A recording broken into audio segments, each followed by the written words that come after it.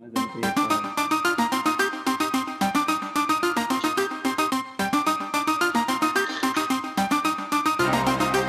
तो। इधर से फाड़ दीजिए ना। बस पहले तो है अच्छे था बढ़िया। अच्छा पकड़िए मगर सिर्फ़ इसको दिखाइएगा।